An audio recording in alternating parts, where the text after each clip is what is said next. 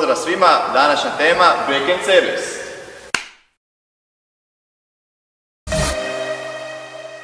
Počet ćemo od položaja ruku i nogu u terenu.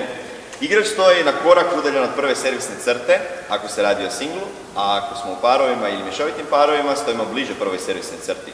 Dominantna noga je naprijed, a druga noga u ovom slučaju lijeva je malo pomaknuta unatrag i u prirodnom položaju.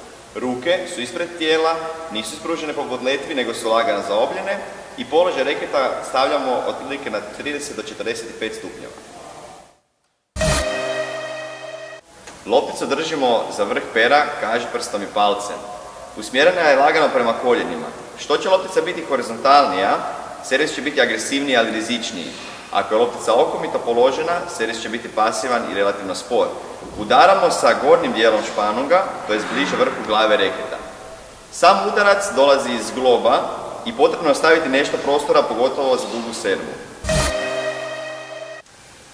Glava reketa usmjerena je prema podu na način da rub glave reketa nije viši od ruba drške. Drži pristupamo thumb gripom, o čemu možete vidjeti u našim prijašnjim tutorialima i reket držimo visoko kako bismo bili što precizniji. Reket je u prstima i relativno nježan.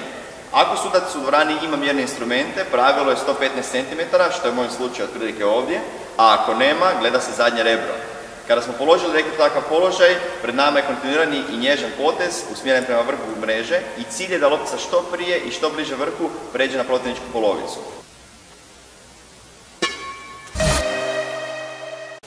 Težište igrača je na prednjoj, to je dominantnoj nozi.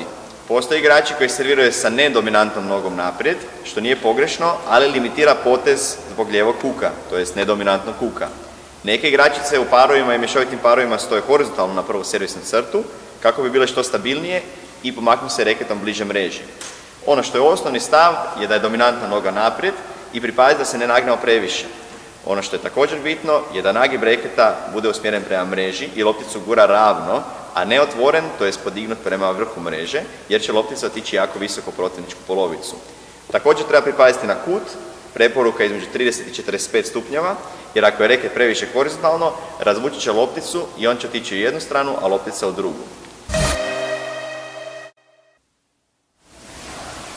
U ovom videu također ćemo se pozabaviti pogreškama pri servisu koji sudi servisni sudac. Servisni sudac sjedi u stolcu nasuprot glavnom sucu i pokretom ruke signalizira glavnom sucu ukoliko je došlo do pogreške.